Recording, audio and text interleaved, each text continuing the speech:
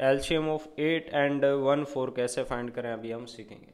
तो हमें क्या करना है सर्वप्रथम इनको एक साथ लिखना है और अपने प्राइम नंबर से डिवाइड करेंगे। प्राइम नंबर कौन से होते हैं? तो ये रहते हैं आपके दो, तीन, पाँच, सात। ये एक से लेकर दस तक के प्राइम नंबर है जो आपको हमेशा याद होने चाहिए। शुरुआत करते हैं दो से। यहाँ भाग गया, चार बार यहाँ गया, सात बार फिर दो का भाग यहाँ गया, दो और सात, आपका एक अभाज्य संख्या है, यानी आपका दो से विभाजन है इसको जैसा है वैसा हम आगे लिख देते हैं।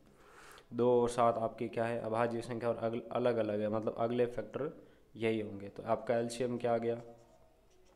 दो कितनी बार? है एक, दो, तीन। ठीक है? ये आपका एक, दो, तीन। एक, दो, तीन। सात कितनी बार? आपका एक बार। है या ऐसे दो का दो में भाग, एक और सात आगे लिख दिया, फिर सात का सात में भाग आपका एक और यहाँ आपका एक आ रखा तो ऐसे भी आप कर सकते हैं। अब इनका गुणा कर देते हैं। ये कितना आ गया?